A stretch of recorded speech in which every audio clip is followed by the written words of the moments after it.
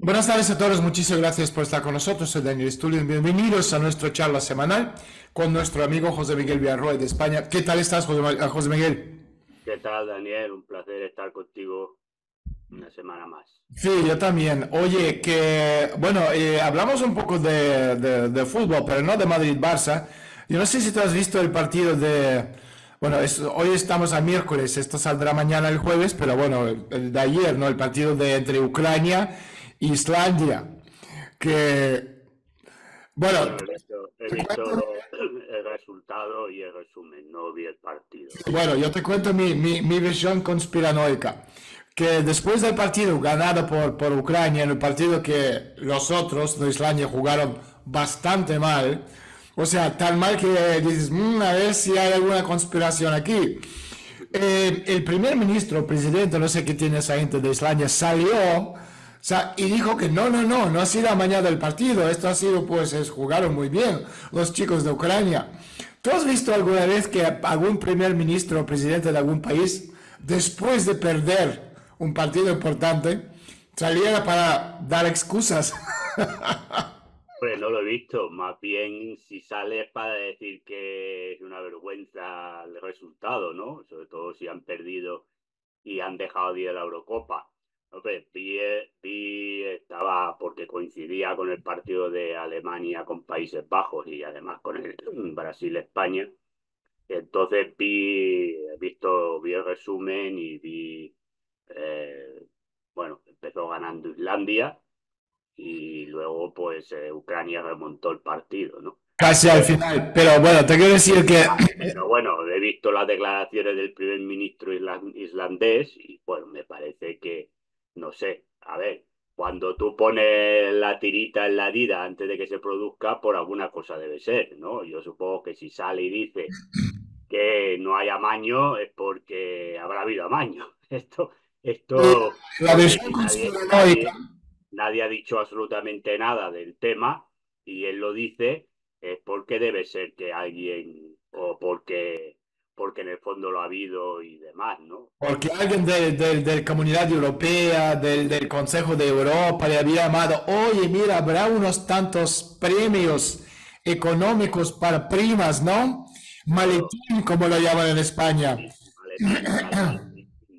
interesa que Ucrania esté en Alemania. imagínate, sí, sí, claro que sí, sí, sí, los, ganadores de la, de, la guerra, los luchadores, ejemplo. Y le metieron en el grupo, si no me equivoco, con, a ver, un segundo. con Rumanía, con Bélgica. Sí, y con otro equipo, Eslovenia. Eslovenia, sí. O sea, es el, el, grupo más débil. Aún así no van a pasar, pero, o sea, fíjate, Sí, sí, bueno, esto es lo que hay, es decir, eh, eh, bueno, eh, se, se, se, podía, se podía esperar, ¿no? Que interesara que Ucrania fuera obvio, obvio porque si no, si Ucrania se queda fuera, imagínate qué, qué desastre ya para, para la Unión Europea, que Ucrania obvio, en la Eurocopa. Oye, siguiendo un poco con el tema del deporte, ya estamos a unos pocos meses de, de los Juegos Olímpicos en, um, en París. Um, bueno, si yo soy Macron, si yo soy la policía francesa, deseara que esto terminara lo antes posible, porque yo creo, yo creo, no tengo ninguna prueba para que nadie, ah, no, mira, este tiene información, no tengo ninguna información. Pero yo veo que esto puede terminar mal, o sea, un atentado. ¿Tú ves un atentado en uh, los Juegos Olímpicos de París? en los juegos no, pero igual antes sí. O sea, si, si hay un atentado antes, imagínate lo que significa eso para los juegos. Por eso, por eso. Hombre, mm, yo creo que algunas alguna están preparando. Mm, o bien eh, un atentado, o bien una detención justo cuando vaya a haber un atentado para justificar determinadas medidas eh, todavía más restrictivas a la población. Esto, eh, yo siempre digo que cuando las cosas las dicen tanto y hablan tanto de ellas, por alguna cosa debe ser. Yo no, las cosas no pasan por casualidad en la vida. ¿Tú crees que, o sea, yo estoy viendo con todo lo que está pasando y haciendo con los... Ah, los atletas rusos sobre todo, ¿no? o sea, hablando de, este movimiento olímpico. Ah, ¿Tú crees que estamos en esta fase de la destrucción?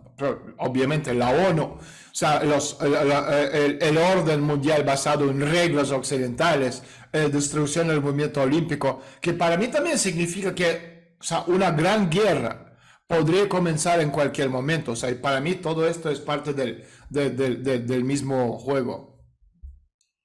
Hombre, yo creo que, a ver, primero la ONU ya con el tema de Palestina en estos momentos, siempre, pero en estos momentos se está demostrando que no sirve absolutamente para nada, ¿no? Porque el otro día se vota una resolución, en principio, eh, la aprueba todo el mundo, incluido Estados Unidos, aunque se abstiene, pero bueno, eh, ya sabemos si se abstiene porque está de acuerdo con ella en principio, pero vemos que ayer eh, Israel bombardea a Rafah y destroza todo lo que pilla por ahí y aquí no pasa absolutamente nada.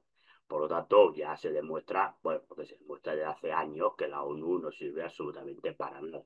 Y a partir de ahí, bueno, yo creo que todo este tema del movimiento olímpico pues está quedando bastante entredicho, porque si el, el, el, el tema principal o el eslogan principal o el leitmotiv principal por el que, por el, que el varón de Coubertin recupera las Olimpiadas, es para que haya una especie de tregua y un hermanamiento entre los pueblos a través del deporte.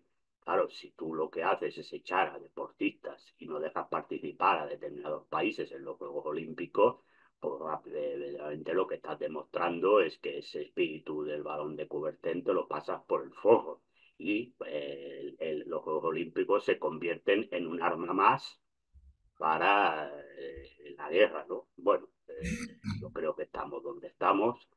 A mí me parece lamentable, por ejemplo, que no se permita competir a los deportistas rusos o bielorrusos, que bueno, dentro de su país tengan que entrar con rollos de estos de, de como eh, deportistas invitados, pero en cambio Israel, que está cometiendo un genocidio directamente, pues este sí que participa sin ningún tipo de problema. Bueno, estamos, yo repito, estamos donde estamos, es todo muy lamentable y me da la impresión de que el mundo está tomando ya unas derivadas bastante extrañas y bastante peligrosas que no sé dónde nos van a llevar. Macron propuso declarar una tregua durante la duración de los Juegos Olímpicos, no sé, ni acuerdo, una semana, hace dos semanas atrás. Pero fíjate, durante los Juegos Olímpicos, hablando del pasado, o sea, las guerras cesaron en la antigua Grecia, pero hay un detalle importante, los Juegos Olímpicos fueron no tanto una competición deportiva y más un sacrificio colectivo. O sea, en los juegos solo podían participar los miembros de esta unión griega, o unidos por el único culto religioso. Y esta tradición no se aplicaba a los bárbaros, por ejemplo, y entonces la guerra con ellos eh, seguía. O sea, el Occidente reconoce, considera a Rusia como un bárbaro, y Rusia respondió aproximadamente de la misma manera. O sea, no estamos invitados a los Juegos Olímpicos y no participamos en ellos. Y a continuación, siguió una declaración del presidente del CEO, ¿no? Comité Olímpico eh, Internacional, Thomas Bach. Él dijo que Rusia fue exclusiva, excluida de participar en los Juegos Olímpicos porque se violaron los principios olímpicos porque la parte rusa quería incluir en su equipo a atletas de Crimea, de Donetsk y de Lugansk. O sea, Israel y Palestina no cometen tales violaciones, esto lo puede comparar. Ahora, hablando de los principios olímpicos, el presidente del de, Comité Olímpico Internacional, Bach, no las conoce. Sugiere que lo lea. O sea, los países, para nuestra audiencia, nunca han competido en los Juegos Olímpicos. Los, sí, obviamente, los países ahí vas con tu bandera, con tal. Pero, o sea, si tú lees, ok, los principios olímpicos no es así. Los atletas compiten en ellos de acuerdo con los principios de los Juegos Olímpicos. O sea, cualquier clasificación por país no es oficial. Y una victoria olímpica no tiene nacionalidad. Esto está expresamente escrito en la Carta Olímpica. Y los comités olímpicos nacionales asumen la responsabilidad de transportar a los atletas a los Juegos y así como realizar las a, competencias preliminares. Los países no tienen ningún estatus olímpico legal y por lo tanto O sea, el traslado de algunos deportistas de un estado a otro no constituye en modo alguno una violación de los principios olímpicos. O sea, Rusia nunca lo perdonará. No va a perdonar ni a Bach ni a los atletas que compiten en los Juegos Olímpicos renunciando a la ciudadanía rusa y con la transición a una fase de crisis. O sea, nos, enfrentamos a la destrucción del movimiento olímpico de la misma forma que nos enfrentamos a la destrucción de la ONU y muchas otras o sea, organizaciones internacionales. Y un deslizamiento, obviamente, hacia esta larga edad oscura. Y esto nos permite sacar una serie de conclusiones. Yo te recuerdo que durante la Guerra Fría Estados Unidos no asistió a los Juegos Olímpicos de 1980, alegando la invasión por parte de la Unión Soviética a Afganistán. Y la URSS no acudió a los Juegos Olímpicos de 84 en, en Los Ángeles, con la mayoría de los países de, del Pacto de Varsovia, salvo Rumanía, que me parece que sí existió. Pero estas fueron sus decisiones voluntarias y no una prohibición directa del Comité Olímpico Internacional. Pero ambos bandos no rompieron el movimiento olímpico ah, ah, y hoy la situación de los Juegos es mucho peor que durante la Guerra Fría. O sea, en términos de, ah, de esta profundidad de las contradicciones, ya estamos en una crisis mayor, o sea, casi al par de la crisis de los misiles cubanos. Entonces, una gran guerra puede comenzar en cualquier momento, incluso debido a, a una acción aleatoria. Y cada vez más el Occidente, o sea, escuchamos el dicho, esto es completamente diferente. O sea, Rusia, Palestina, Israel, ya, pero esto es lo mismo. O sea, Palestina es distinto. ¿Ok? Están en guerra, pero esto es completamente diferente. O sea, bombardearon Yugoslavia, destruyeron un país. Ah, no, pero es diferente. Kosovo, Crimea, no, son, son cosas completamente diferentes. Porque Kosovo es nuestra puta y la otra no. Esta forma de pensar tiene su propio precio. O sea, ¿a qué podría conducir esto? Rusia, por ejemplo, podría de nuevo enviar misiles a Cuba. Sí que hay un acuerdo de 1962, no importa. Esto ya no funciona más. Y una parte importante de estos derechos occidentales se basa en, en precedentes y en analogías, lo que significa que esto viola directamente el sistema legal, viola la lógica de Aristóteles. Y este es otro hecho de este deslizamiento hacia la edad oscura. Estoy seguro de que, o sea, habrá una reacción también de la Iglesia Católica, la Iglesia Ortodoxa. O sea, es una situación de destrucción del sistema jurídico. El mundo se verá obligado a volver a la ortodoxia, a este dogmatismo religioso y filosófico. ¿Tú lo ves así? Bueno, no sé, yo, a ver, yo creo que el tema de la religión, al menos lo que es Europa Occidental, no creo que pueda volver a surgir para ser un planteamiento eh, dominante. Eh, yo creo que estamos en una época, al menos, y hablo por Europa Occidental, entiendo que Europa Oriental y Rusia es distinto, pero en Europa Occidental yo creo que lo que estamos asistiendo es a una destrucción de valores totalmente y lo que se está imponiendo es todo este sistema de la izquierda woke y todas estas pamplinas que no sé lo que nos están metiendo. Yo creo que hay cosas que van a ir desapareciendo. Te repito, la ONU creo que no tiene ya ningún tipo de credibilidad absolutamente para nadie. Eh, bueno, y el movimiento olímpico pues también es lo que es, pero el problema también está en la aceptación de las poblaciones. Es decir, si a las poblaciones les parece bien que al tema de las Olimpiadas, pues les parece bien que, que los atletas rusos no participen porque llevan atletas de Crimea y del Donetsk y del Lugan, pues entonces, pues perfecto, es decir, no, tampoco habrá mucho movimiento. Yo lo que creo, creo que hay una destrucción desde arriba, poco a poco, paulatina, bueno, en algunas cosas aceleradas, y que entraremos en un mundo que en estos momentos es difícil de planificar por dónde va a ir. Eh, que hay la posibilidad de una guerra, sí. Lo que pasa es que, a ver, yo también creo que las cosas... Eh, el problema está en que ahora hay un miedo de la guerra nuclear. Entonces también todo el mundo se tienta la ropa, porque al final una guerra nuclear es pérdida para todos. Tampoco es que aunque el que gane la guerra también pierde mucho. Mm, bueno, mm, vamos a ver por dónde se desarrollan los temas, pero yo no creo que, por lo menos, y repito, en Europa Occidental, yo creo que el tema religioso está ya finiquitado y es muy difícil que, lo que, que vuelva un dogmatismo religioso para aceptar, digo, a nivel general de la población, cosa que haya capas de la población que sí eh, reaccionen y se aferren a una serie de dogmas religiosos, pero a nivel general yo lo veo, vamos, todo posible en la vida. No tengo la bola de cristal, pero yo me parece que en estos momentos es muy difícil que la gente acepte un dogmatismo religioso para aferrarse a algo. Yo creo que la gente ya no se aferra a ningún tipo de ideología, más allá de intentar vivir y sobrevivir el día a día. Y ahí, y ahí en eso es lo que estamos en Europa Occidental. Oye, ¿dónde crees tú que se queda, o sea, con el desmantelamiento de la ONU, que es absolutamente patente y obvio, ¿dónde se queda esta piedra angular de los derechos humanos? Pero los derechos humanos han sido siempre una farfolla. Los derechos humanos son los derechos de la burguesía. Es decir, no, pues ya está. Es decir, porque todo esto que dice los derechos humanos se aplica a la burguesía y a las clases dirigentes, no se aplica a la, a la humanidad es un espantajo, perdón, que siempre sacan por el delante, pero que en el fondo no sirven absolutamente para nada. Se aplican cuando interesa, yo nunca he creído en los derechos humanos. A ver, sí que creo en las ideas de lo que dicen los derechos humanos, pero no creo en la aplicación que hacen de los derechos humanos, porque tú lo ves y tú lo has dicho antes, es decir, en Crimea aplicamos los derechos humanos, en, en Kosovo no en, en, en, Israel pues no los, no, no, los aplicamos, en Ucrania sí, en Serbia bombardeamos, Serbia bombardeamos Belgrado y destruimos Belgrado y destruimos Yugoslavia y pues no pasa absolutamente nada, no hay derechos humanos. En otros sitios sí.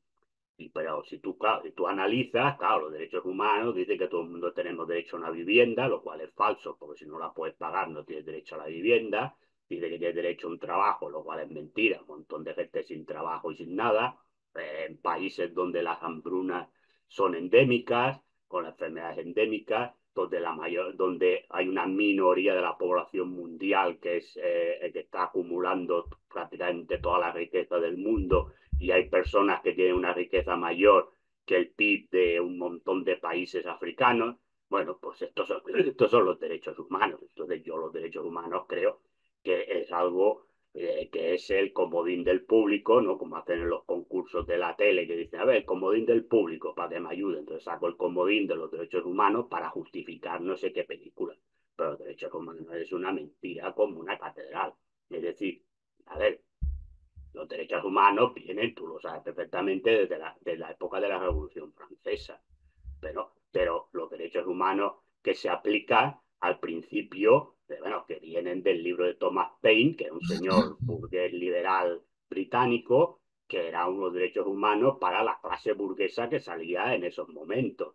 Eh, y los derechos humanos que se firman al principio, eh, en el año 1790, son los derechos humanos para eh, ratificar los, los, los resultados que había obtenido la Revolución Francesa del principio que era burguesa porque luego cuando hay una, otros una reescritura de los derechos humanos en la época del terror revolucionario, es decir, de Robespierre, esos derechos humanos se eliminan cuando vuelve el directorio y viene Napoleón más tarde. Y bueno, y ahora lo que tenemos son los derechos humanos que se firman en Helsinki en los años 70, que es un paripé para llegar a acuerdos que, bueno, pues, pues es eso, es simplemente los derechos humanos que están muy bien ahí, que, hombre, claro, eh, si tú te los lees, pues esto es maravilloso y perfecto, pero que luego no se aplican en ningún sitio. Entonces yo los derechos humanos, pues muy bien. Es decir, eh, yo los derechos humanos está en la lucha obrera, en la lucha de la clase trabajadora y en la lucha cuando hagan la revolución. Derechos humanos se aplicaban en los países socialistas, como tú y yo vivimos y conocimos, donde sí que se aplicaba. La gente tenía su casa, no la podían echar, tenía su trabajo, no le podían echar no le cortaban la luz, no le cortaban el agua, la gente mayor tenía eh, sus pensiones y además esas ayudas estatales para no estar solos en el caso de que tuvieran que estar solos, etcétera, etcétera, una sanidad como Dios manda, una educación como Dios manda. Bueno, pero eso ya ha desaparecido. Entonces, hablar de derechos humanos a mí me parece que es, con todo respeto, me parece que es una tomadura de pelo en el momento en que vivimos. Es decir, si tú me dices, la ONU ha caído, los movimientos olímpicos han caído por los derechos humanos, es otra pantomima más del sistema que lo que intenta es, bueno, pues justificar toda una serie de, de actos que se hacen eh, con, repito, el comodín de los derechos humanos, está, pero bueno, es lo que hay. Fíjate, como tú dices, la Declaración de los Derechos Humanos y de Ciudadanos fue adoptado en la Revolución Francesa en 1789, o sea, con todo este patetismo sobre la base de entonces más avanzadas ideas de ley natural. O sea, en nombre de los cuales las malas e insensibles órdenes del antiguo régimen fue uh, solemnemente abolido. Sin embargo, como tú y yo sabemos, Casi inmediatamente después, en nombre de su implementación, apareció la madre guillotina, ¿no? Pero digamos, esto suele ser el caso de las ideas brillantes. Y sin embargo, como dices tú, fue o sea, ella que sirvió de prototipo para esta Declaración Universal de Derechos Humanos adoptados ya en 1946 y la era directamente, o sea, estilísticamente y, por supuesto, el último acto, el acto de Helsinki de, 1700, de 1975, firmado por Brezhnev, etc. Y en la ONU, en Helsinki, en nuestras declaraciones locales, o sea, no parece haber nada con lo que ah, no queremos estar de acuerdo. O sea, es decir, lo bueno contra todo lo malo. Pero hay un matiz. La declaración francesa sirvió de base ideológica para la adopción de la constitución, o mejor dicho, de una serie de constituciones del principio que cambiaban casi tres o cuatro o cinco años. Y la ONU también se encuentra en la base de la Carta de la ONU, que la ONU fue concebida, si alguien lo haya olvidado, como una especie de este órgano, organismo de gobernanza colectivo del mundo por parte de los países victoriosos de la Segunda Guerra Mundial. Sin embargo, gobernar al mundo desde ahí no funciona. Y la guerra de Corea, no tenemos que hablar ni Israel de hoy. La guerra de Corea ya lo demostró en los años 50. Bueno, Obviamente está Israel, pero es distinto. lo de Israel es distinto. Israel está luchando por su supervivencia. Está claro. Y sin embargo, según las tecnologías de este poder blando más utilizado que permite eludir aproximadamente todas las normas existentes sobre el respeto de la soberanía estatal de los Estados miembros de la ONU, sido los derechos humanos desde el principio. O sea, presentas el hecho de que tu oponente ha ofendido a alguien, adoptas algunos puntos de esta declaración, o sea, y, gritas al mundo entero sobre la violación de los derechos humanos y voilà.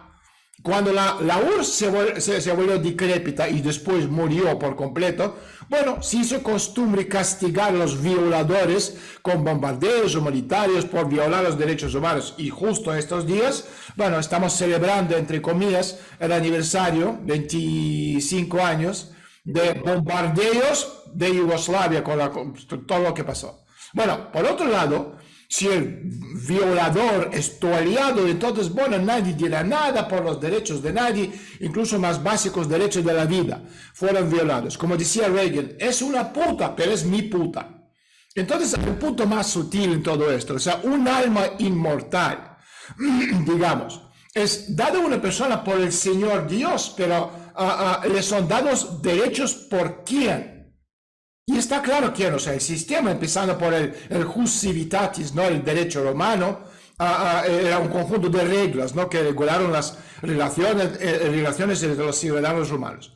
Pero en el original no eran para todas las personas, para que no nos equivocamos, sino solo para aquellos con este estatus civil. Y por eso el original era el principio error de la versión actual. O sea, hay muchas maneras de excluir a alguien de, del número de poseedores de Estado requerido. Mira, nosotros los rusos, o sea, somos hoy en día los judíos de los años 30. Y según el procedimiento completamente opaco, y Dios sabe que, después de lo cual a la guillotina, cansará la cultura, etcétera, etcétera, justo lo que estamos viendo ahora. Entonces, ¿dónde se queda? ¿Cuánto nos queda de estos derechos humanos, tú crees? Bueno, yo creo que los derechos humanos eh, se han aplicado cuando ha convenido. a ver, es que los derechos humanos ya no se aplican ni en esos países que dicen defender los derechos humanos, porque repito, cuando la gente no tiene derecho a tener una casa, si no tiene dinero para pagar la casa, ya no estás aplicando los derechos humanos. Ya está. Es decir, esto, este, este, este es el tema. Es decir, pero que la gente a ver, yo le quiero recordar a la gente que los derechos humanos derivan, que yo no entiendo por qué el bloque soviético firmó los derechos humanos de Helsinki, porque devienen de la Revolución Francesa, que es una revolución burguesa, y lo que hacen los derechos humanos es sancionar unos resultados de la Revolución Francesa y de lo que ellos esperaban conseguir en la sociedad nueva que se iba a crear, pero que era una sociedad liberal burguesa, porque la, como tú bien dices, no, ahora tú hablas de los rusos, pero siempre los derechos humanos o en las constituciones posteriores, siempre ha quedado fuera las clases desfavorecidas y las clases pobres dentro de esas leyes. Porque los derechos humanos lo que hacían era sancionar el derecho, decía, bueno, que todo el mundo, todas las personas son libres. Vale, muy bien. Pero a, renglón seguro venía el otro vez decir, bueno, los que los, la gente tiene derecho a la propiedad privada. Bueno, claro, la propiedad privada mía. Pero claro, la propiedad privada del otro no, no, no era un derecho, porque tú no tenías derecho a tener, o bueno, tenías derecho a tener, pero no podías tener.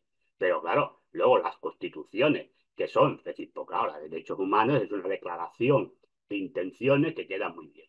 Pero claro, luego esa declaración de intenciones hay que poner a la práctica. En la práctica, ¿dónde va? A las constituciones. Bueno, la propia constitución que sale de esa Revolución Francesa, digo, la primera constitución, que es la de 1790-91, algo que sanciona es que una gran mayoría de la población francesa, que según los derechos humanos debería tener toda una serie de derechos, ya no los tiene.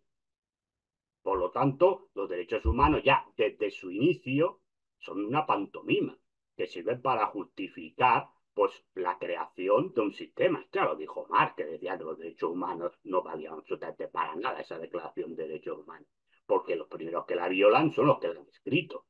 Entonces, claro, es decir, porque hay que recordar que los que escriben los derechos humanos son los constitucionalistas que luego sancionan la, la, la Constitución de 1790 donde se incluyen los derechos humanos dentro de la Constitución. Pero claro, esa Constitución lo primero que dice es que yo como soy un pobre, no tengo derecho a votar. Porque hay que recordar que ahora tenemos sufragio universal, pero durante hasta prácticamente el siglo XX, el sufragio era censitario, es decir, que se votaba en función de la riqueza que uno tenía. Es decir, que por lo tanto, es decir, los primeros, los que escriben los derechos humanos son los primeros que luego no lo aplican a su gente. Por lo tanto, ya los derechos humanos ya empiezan siendo una pantomima que lo único que sirve es para sancionar y justificar ideológicamente una revolución. Hombre, era mejor lo que había y que lo que había entonces con el antiguo régimen. Esto no lo vamos a discutir, pero el tema es que lo que sancionan es una, eh, una sociedad liberal burguesa, donde el dominio pertenece a la burguesía con las capas dominantes anteriores, porque ahí hay un pacto entre la aristocracia y la burguesía, es decir, que no se pisan la manguera para dejar fuera a las clases desfavorecidas que van a seguir siendo eh, pisoteadas y explotadas por la, antigua aristocracia y la nueva burguesía, que es la cara corta, como decimos en España, el bacalao, es decir, la que va a gobernar. Esto son los derechos humanos. Y eso ha pasado a lo largo de la historia. Cuando verdaderamente se aplican unos derechos humanos de verdad, que se escriben, que son los de la época del terror revolucionario, esos derechos humanos nunca se pueden aplicar por la situación en la que se encuentra Francia, pero es que cuando llega el directorio, que es la revolución, la contrarrevolución, a la revolución, digamos, jacobina de Robespierre, se eliminan y se vuelve otra vez a los derechos humanos además recortados, porque se escriben, se reescriben y se recortan determinadas. Después no hay otra declaración de derechos humanos más hasta la declaración de Helsinki, que no recuerdo, no sé si es del 73 o del 74, no recuerdo, bueno, pero que también están ahí y a ver dónde se aplican, porque en ningún país del mundo en estos momentos se aplican los derechos humanos.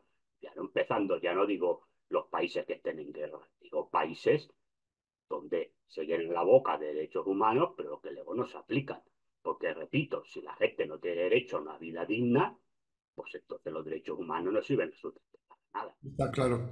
Oye, la última pregunta. Eh, bueno, eh, he visto el tema del atentado en Moscú, no vamos a comentarlo porque tú ya lo has comentado mucho, yo también he comentado en muchas entrevistas y tal, y tú ya coincidimos que es la huella británica eh, llevando a cabo como primer nivel, segundo los servicios de inteligencia ucranianos y tercer nivel los, los bobos de turno, estos altos, los tajikos. Eh, el problema para nosotros es toda esa gente de Asia Central en Rusia. Están entre 8 y 12 millones. de ellos. O sea, es, es, una eh, migración desenfrenada. ¿Quién gana? Los lobbies. ¿Quiénes son estos lobbies en Rusia que están moviendo estas masas de masas de millones de personas? Son lobbies eh, eh, promovidos y financiados por el Occidente, sobre todo por Estados Unidos, con razones obvias. Pero estamos viendo el mismo modus operandi en Europa, estamos viendo lo mismo que está pasando en, en Estados Unidos, toda esa gente está entrando, o sea, una invasión en toda regla. Ahora, te quería preguntar, lo hemos comentado hace como un año, el tema de, de Islam y, de Europa, pero, o sea, eh, si lo extrapolamos lo que está pasando ahora a un futuro muy próximo, porque claro, tú te vas, por ejemplo, en Niza, en, en, en Francia, tú te vas a un centro ambulatorio, ¿no? El, hospital, en urgencias. O sea, tú tienes ahí 30 personas, de las cuales 27 son eh, árabes y uh, tres personas son blancas. Pero esto estamos viendo también, o sea, ¿tú, crees que San Petersburgo es distinto o Moscú es distinto para nada.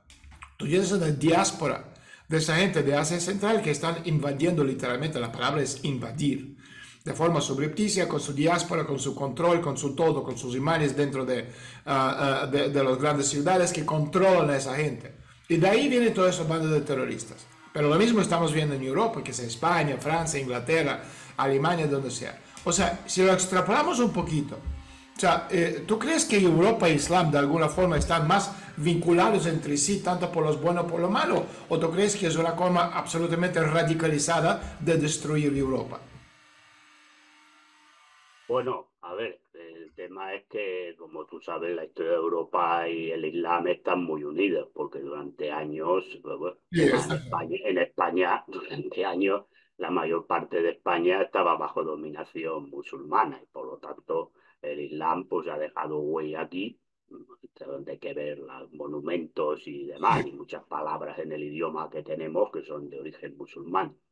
Eh, hombre, ha habido históricamente una relación, digamos, de amor-odio. Durante años más odio, eh, sobre todo, claro, en la época de la Edad Media y demás, con las cruzadas, la, la reconquista en España y siempre se ha visto tal. Después, pues bueno, eh, ha habido eh, en la época del imperialismo colonial, pues como eran colonias y demás, pues también se veía aquello, ¿no? Oriente y el Islam como algo exótico, eh, tanto esas novelas, de, sobre todo británicas y demás. y ahora, hombre, yo creo que hay un, a ver, mm, yo creo que hay un problema en el sentido, como tú dices, eh, claro, esta gente llega aquí y llega aquí por las circunstancias de miseria absoluta en la mayor parte de estos países, con lo cual obligan a que mucha gente tenga que salir para intentar eh, sobrevivir. Eh, claro, aquí también se abren las puertas. Yo siempre he dicho ¿no? que la migración es un tema que hay que mirarlo detenidamente, ni caer en el mismo de los que entran. Sí, porque los que están entrando en Rusia ahora mismo, en su gran mayoría, son gente que ni habla ruso. O sea, un caso flagrante, caso flagrante hace como una semana o diez días, una familia canadiense, o sea, gente blanca, canadiense, mamá, papá y ocho niños, huyeron de Canadá ¿Por qué huyeron? Porque el gobierno canadiense estaba a punto de quitarle los niños a la familia. ¿Por qué estaba a punto de quitarle a la familia a los niños? Porque el, ¿cómo se llama? Los, los, los, padres se negaron a una educación sexual en el colegio con todo lo que supone. Se imagínate este nivel. Huyeron a Rusia. Le concibieron asilo político. Pero como no hablan ruso, claro que no hablan ruso, viene de Canadá. Pero lo pueden aprender porque quieren vivir en una sociedad sana le, acaban de, de, sacar, de echar al país. Mientras están entrando, te repito, toda esa gente que está entrando, la mayoría de ellos no habla ni una palabra en ruso o habla un ruso tan macarrónico. ¿Sabes que dice, Dios mío, ¿de dónde viene esa gente?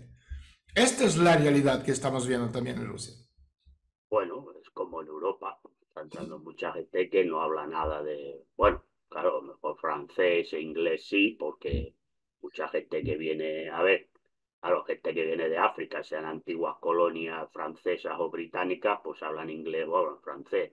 El español, pues gente que viene de Sudamérica, pues lo habla. Pero claro, aquí te viene luego marroquí, pues depende, de había zonas que pertenecían a España de Marruecos y hablan español de aquella manera, pero lo hablan. Pero bueno, aquí también tenemos mucha gente que viene de Pakistán que viene de China, que viene de no sé qué, y que muchos no hablan absolutamente nada cuando llegan. ¿No? Bueno, esto, bueno, es el problema. A ver, yo creo que el tema es que, aquí se abre todo, pero no hablo de España, digo a nivel general, se abre todo porque en el fondo esto es lo que le interesa también a los que manejan el cotarro en el sentido económico, es decir, eh, si hay una excedencia de mano de obra, pues es aquello lo que decía más, ¿no? El ejército proletario de reserva y por lo tanto también las condiciones laborales pues se hunden. Mm, yo no he hecho la culpa a los inmigrantes en general, porque el tema, claro, es decir, el tema es que las situaciones, lo, el problema es el sistema que obliga a todo esto y además permite todo esto porque le conviene, le interesa. Eh, luego, bueno, a ver, ¿por qué es verdad que luego no hay una integración? Se está hablando del tema de, los, de la gente de, de religión musulmana, religión islámica. ¿Por qué no hay una integración real y no se obliga a una integración real? Bueno, porque también, también interesa, porque en el fondo, es decir, todo esto sirve como chivo expiatorio para determinadas cosas. Es decir, ya está. Es decir, yo no me creo. y si no se enteran es porque entonces tenemos unos servicios de seguridad que son un desastre, que no valen para nada. Yo creo que tú te tienes que enterar, tienes que tener controlado. Y además, a ver, las cosas son muy fáciles. Si tú tienes controlada una serie de gente que está radicalizada, lo que tienes que hacer es primero detenerlo y después expulsarlo. Si no lo haces, ¿por qué no lo haces? Dice, no, es que no han hecho nada. Bueno, no han hecho nada. Pero usted a ver, lo que yo creo que desde que establecer es cuando tú vienes a un país, tienes que respetar, aparte de las leyes que se dice que haya que respetar, tendrás que respetar los usos y costumbres, que se decía en mi época, ¿no? Cuando yo era joven, los usos y costumbres de ese país. Si tú lo que tú estás haciendo es una propaganda contra los usos y costumbres de ese país, pues es evidente que no puedes estar. Así de claro. Entonces, estos son temas que hay que tomar. Yo sé que estas palabras a veces suenan o rozan por mucha gente el tema de, racismo, xenofobia. No, no, no, no es mi, mi caso. Yo no hablo de eso. Pero hablo de que cuando yo, repito, considero que todo lo que está pasando, el único culpable es el sistema. Porque el sistema permite todo esto porque les sale favorecido, por un lado económicamente, porque explota esos países, porque la explotación no solamente de clases, sino también a nivel geopolítico también es una explotación, y entonces le interesa tener países que sean una miseria y una pobreza absoluta para poder explotar, trayendo a sátrapas y a, y, a, dirigentes que allí son lo que se dedican a chupar y a robar allí en sus países y mantener a una población en la más absoluta miseria. Entonces, claro, eso, a ver, yo creo que hay que ponerse en el lugar de ellos. Si yo estuviera en esa situación, pues por el también saldría para intentar vivir y sobrevivir. Entonces, ¿qué pasa? Claro, que se llega aquí, aquí ya hay toda esta parafernalia de discurso buenista, ¿no? De, esta izquierda wow, que no es izquierda ni es nada, pero bueno, te suelta este discurso buenista, ¿no? De que aquí, ¿no? Cuando te dice, bueno, primero, aquí no cabe todo el mundo, ¿por qué? los recursos de un país también son finitos y limitados, por lo tanto aquí no cabe todo el mundo. Pero luego aparte de eso es, bueno, ¿por qué? Porque al sistema le interesa cuanto más gente haya demandando un puesto de trabajo, pues más fácil será que las condiciones laborales sean peores. Entonces, cuando las condiciones laborales son peores, ya no son solo peores para el inmigrante, también es peor para el autóctono, porque se cae. ¿Y quién saca, saca beneficios? Saca beneficios la ¿eh? Es decir, los ambos del cortijo, como digo yo. Unos de más altura, otros de menos altura. Pero son los que sacan el beneficio. Y luego está la otra parte. Entonces, bueno, la otra parte. Pues tú has dicho los tontos útiles del ISIS o del Al Qaeda o el Daesh o lo que le quieras llamar. Bueno, pues esto está aquí. Bueno, ¿para qué sirve? Bueno, sirve fundamentalmente pues para tener a la gente controlada. Porque, eh, es decir, claro, si tú sabes que esa gente, es decir, es que el problema es cuando, si tú persigues a una organización terrorista, yo pongo el ejemplo aquí España, por desgracia, durante años tuvimos el terrorismo autóctono, que era el de ETA. No hacía falta que hicieran un atentado para detener a gente de ETA. Pues cuando se descubría a alguien se detenía.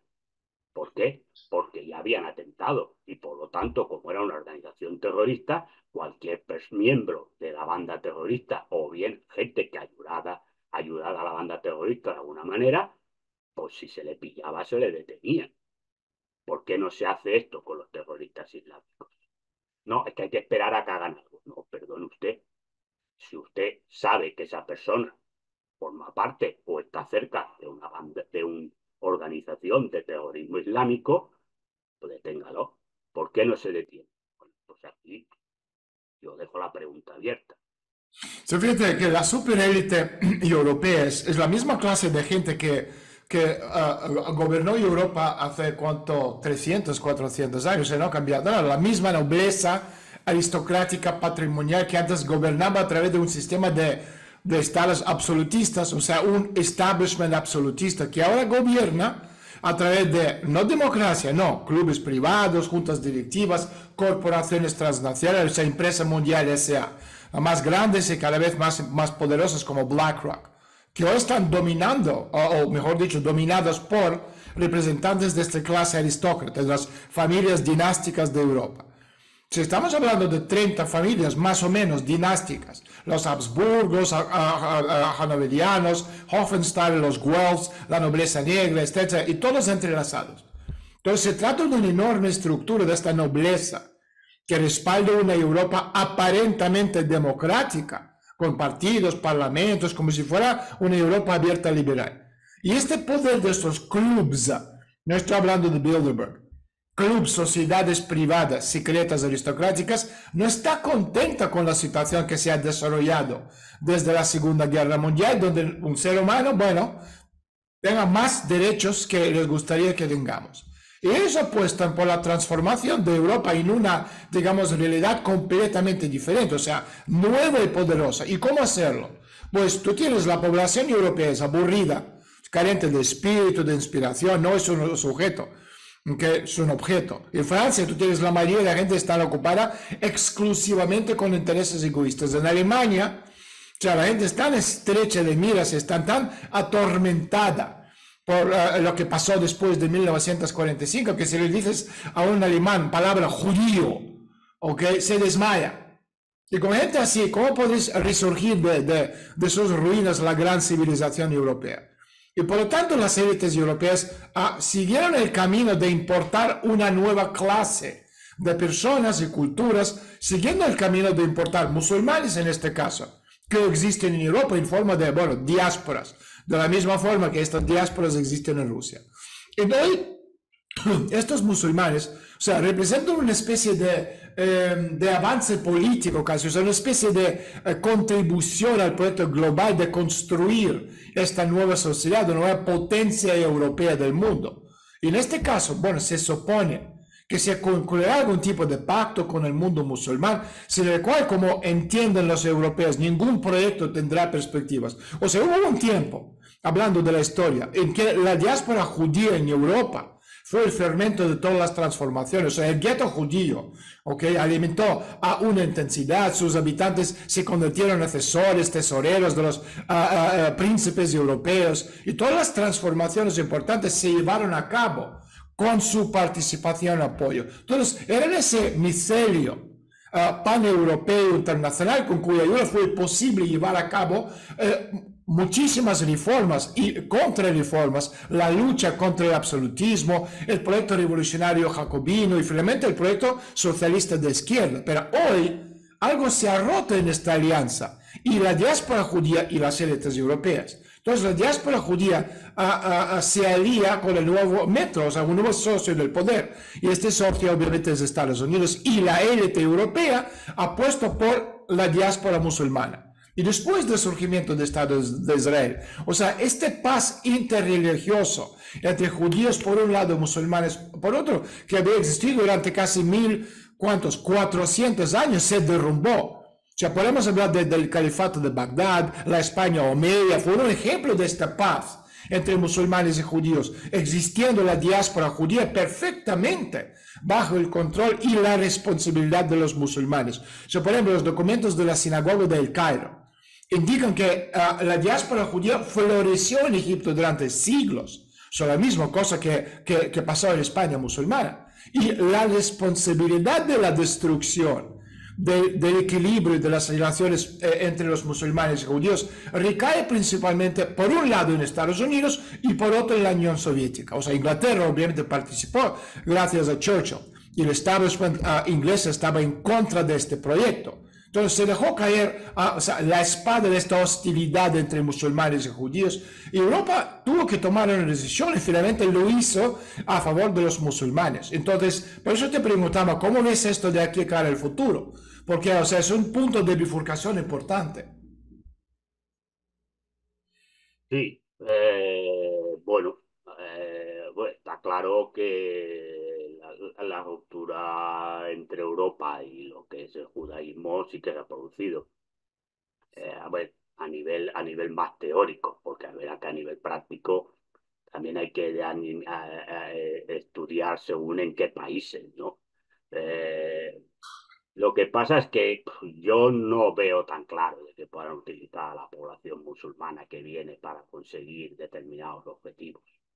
Porque, a ver, mm, también el islamismo es una especie de religión o de nivel de comportamiento de transformación social o de tipo social que tampoco es una sociedad que creo que las élites estén por ella yo creo que más bien son carne de cañón de muchas cosas que quieren meter. Es decir, yo creo que por un lado es eh, la pauperización de la clase trabajadora y popular de Europa Occidental eh, y crear una especie de guetos, es decir, que culturalmente incluso de curso de costumbres, es decir, generen rechazo a la población autóctona y que sirvan de chivo expiatorio para determinados momentos, como también es decir, verdad que todavía esa eh, relación entre las élites y el judaísmo, pero luego los judíos eran utilizados como chivo expiatorio con las cosas iban mal. Hay que recordar todos los programas que se hacían, sobre todo en la Europa del Este, ¿no? Entonces, es decir, eh, yo creo que este es, este es el camino que hay. Es decir, yo creo, no creo que haya una que se traiga población islámica para intentar eh, revertir eh, y que Europa se convierta otra vez en una potencia, porque el problema de Europa es que yo creo que ya no es nada, obviamente. Una cosa el sueño que tengan algunas élites y otra cosa lo que es Europa en sí. Es decir, Europa hoy en día ya no es nada. Y aparte, bueno, si más allá de que algún país algunos todavía tienen su sueño imperial como es Gran Bretaña eh, y, hagan determinadas cosas por ahí porque todavía conservan algunos pues, vestigios de su época imperial, el resto de Europa no es nada. Otra lo que las élites pretendan no quieren hacer. Pero utilizar a, la población musulmana para conseguir estos objetivos, a ver, igual sí, eh, igual tienes razón tu argumentación, pero yo no lo veo. Yo creo que más bien es eh, la utilización eh, de la población, a ver, inmigrante en general, pero es verdad que la población musulmana, por sus características sociales, religiosas y demás, pues genera mucho más conflicto mm, de convivencia, si tú quieres, con la población autóctona, porque es verdad que pues, también en España, bueno, por los sudamericanos, pues más o menos, pues te puedes sentir eh, parecidos, porque en el fondo hablan el mismo idioma, la cultura es parecida y demás, pero si es verdad claro, que los gente musulmana, pues ya primero por las formas de vestir, por una religión distinta, porque están en comunidades muy cerradas, etcétera, etcétera, pues genera ya de entrada como un pequeño un rechazo, ¿no? Es decir, es más difícil que tenga contacto a lo mejor con gente musulmana que con gente de otro tipo inmigrante que viene a, que está en España.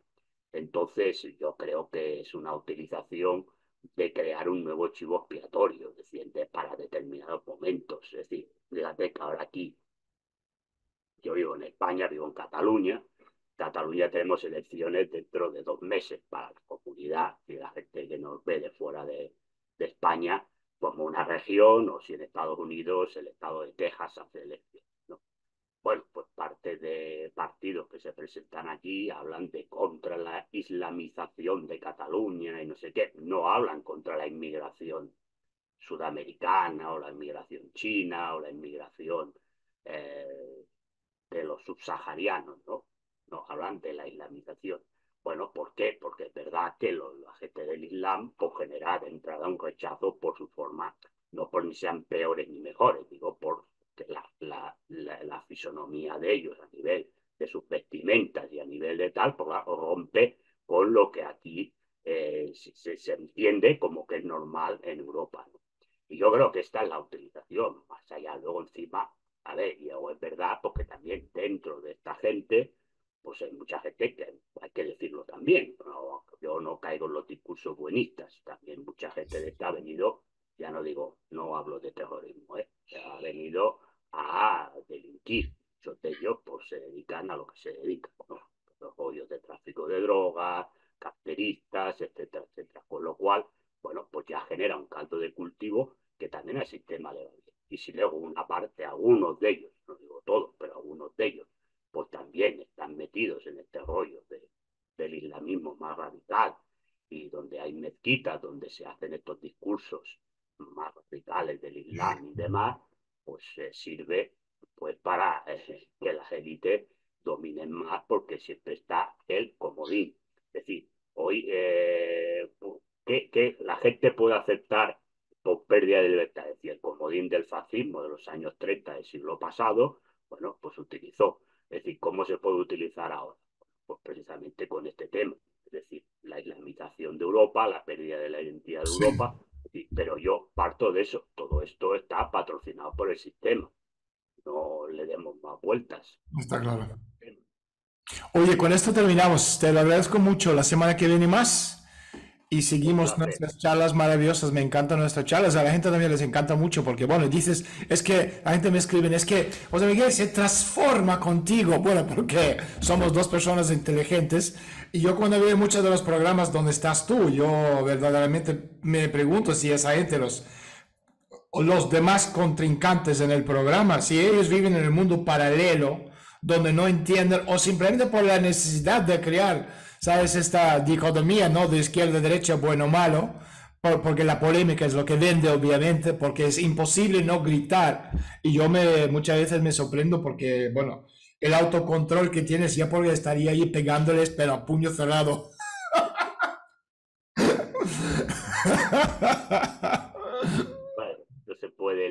no se puede eso.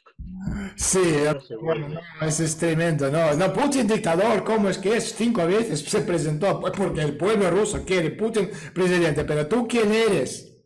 ¿Tú quién eres para decirles a nosotros que no país que, que, que, tiene más de mil años de historia, pues ¿cómo deberíamos tener? Porque lleva, porque lleva 30 años. Si coges los políticos de España, te vas a encontrar algunos que llevan 40. Es decir, que la reina lleva 70 años jugando con su coreo. déjalo a Putin jugar un poquito más. ¿Y la, Nancy Pelosi cuánto tiempo estuvo? Desde la época de... con Kennedy ya, estaba con Kennedy, fíjate. Fíjate, ya se retiró hace el año pasado, ¿no? Y bueno, y Biden, ¿cuántos años lleva? Brian Feinstein, que estaba ahí, 90 y muchos años de... Pero, ah, pero esto es distinto, no es lo mismo. es distinto porque, lo, porque es una democracia plena y el pueblo lo vota porque... Exacto, y nosotros somos los dictadores. Cualquiera que apoye Putin, la elección de Putin es un dictador. Así es. Hablamos la semana que viene. La semana que viene, Daniel, un placer. Chao.